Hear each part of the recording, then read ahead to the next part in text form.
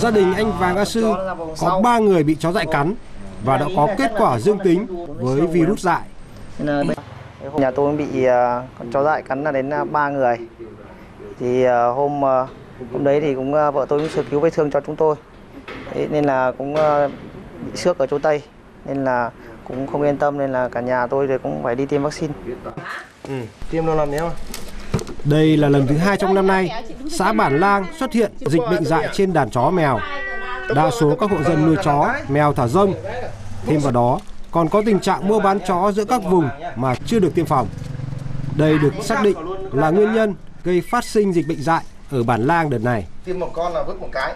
Cơ quan chuyên môn thì chúng tôi đã cử cán bộ uh, viên chức vào trực tiếp phối hợp với ủy ban nhân dân xã để xác minh cụ thể và tuyên truyền cho nhân dân nắm được là cái mối nguy hiểm của cái bệnh dạy này để nhân dân ờ, thực hiện cái, cái việc là nhốt xích chó này không được thả rông chó mèo này à, trước khi thả rông chó mèo ra ngoài đường là phải bắt buộc phải đeo dọa mõm đến thời điểm này xã Bản Lang đã được cấp phát 100 lít hóa chất 50 kg vôi bột để tiêu độc khử trùng môi trường tiêu diệt mầm bệnh và hơn 900 liều vaccine dạy mục tiêu trong vòng một tuần tổ chức tiêm phòng, bổ sung và tiêm lại cho toàn bộ đàn chó, mèo trên địa bàn.